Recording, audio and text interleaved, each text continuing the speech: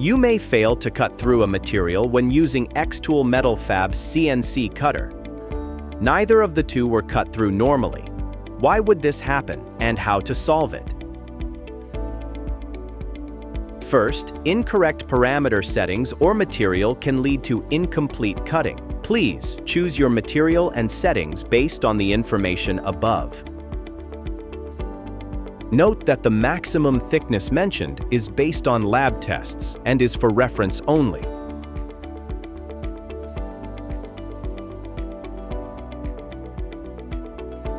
Here are Xtool recommended nozzle, gas for different materials, and thickness.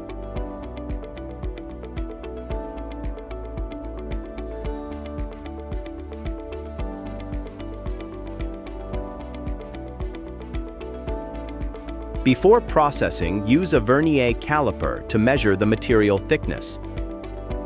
Then, select the target material and thickness in Xtool software. Take cutting 3 mm stainless steel as an example. It is officially recommended to use a compressor for air supply and to choose the save gas nozzle. Those labeled no parameters are not recommended. Select the cutting area first and adjust the air pressure slightly higher than the recommended value to achieve a better cutting effect. If you are using an inappropriate nozzle type, please change it to the recommended nozzle type and make sure you have put on gloves before operating.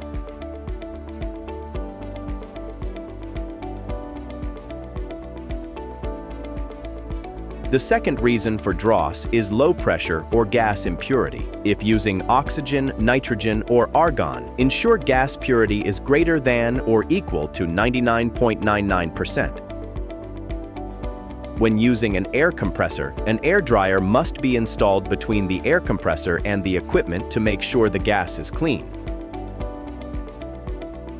I'll use an Xtool compressor to show how to increase pressure.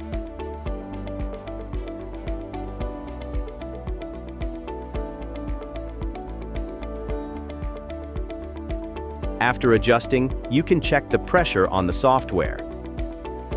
If the incomplete cutting issue persists, slightly adjust your settings. For example, select the pattern in Xtool software. Lower the cutting speed. Test cut a small pattern like a 30 by 30 millimeter square.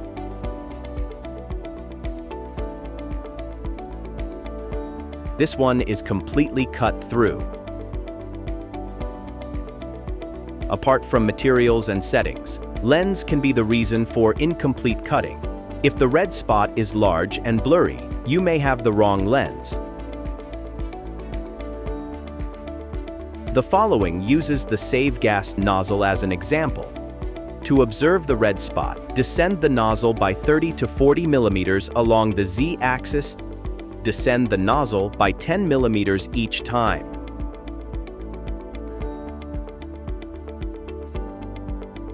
If you've misinstalled the cleaning lens, replace it with the lens protector. Ensure that you wear gloves during the whole process.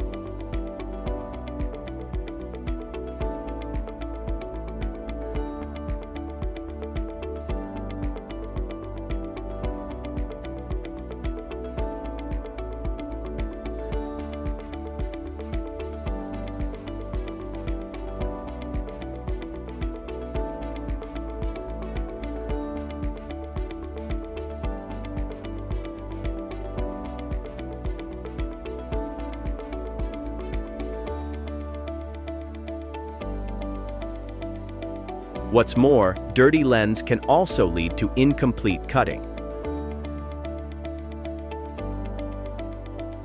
The third reason is a damaged or clogged nozzle.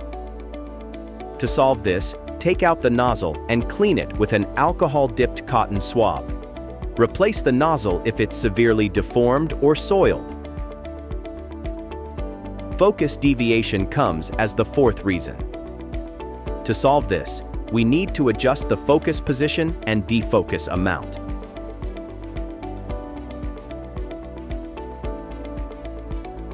Read the tips in the dialog box, click Next. Follow the tips to adjust the cutting tip. Turn off the two machines.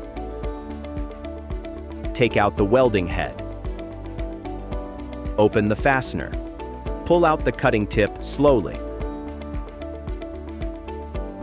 Use the 2.5mm hex key included in the package of Xtool Metal Fab Laser Welder. Loosen the screw a bit. Slowly pull up the U-shaped component until its bottom reaches plus 1. Tighten the screw. Pull the component back and forth to test if it's secured. Install the cutting tip back to the welding head. Close the fastener.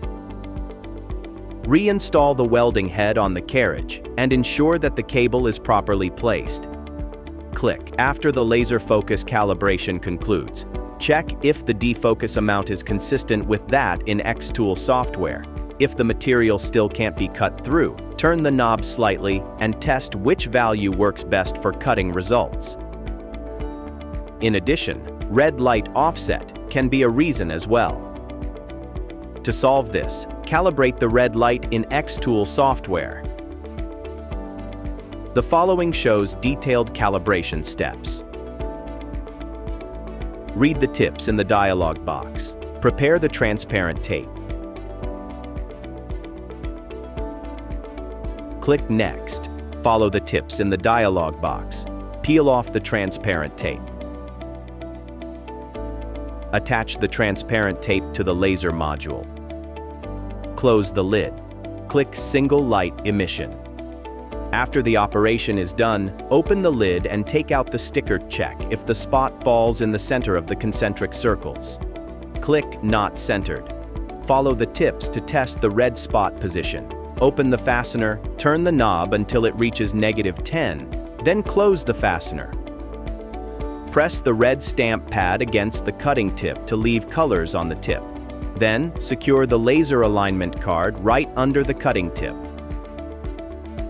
Click Confirm. The cutting tip is automatically lowered.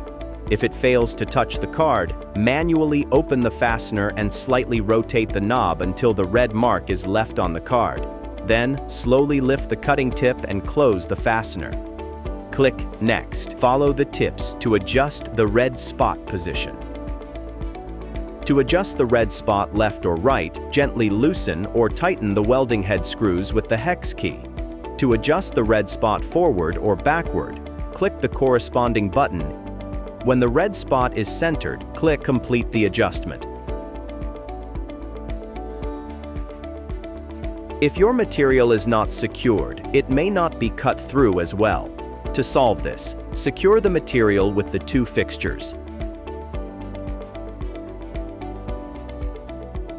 Finally, improper pattern design and nozzle usage can also lead to incomplete cutting.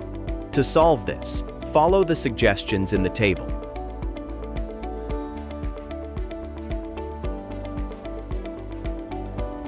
Today, we've walked through reasons and solutions for incomplete cutting. To achieve better cutting results, nine useful tips are here for you.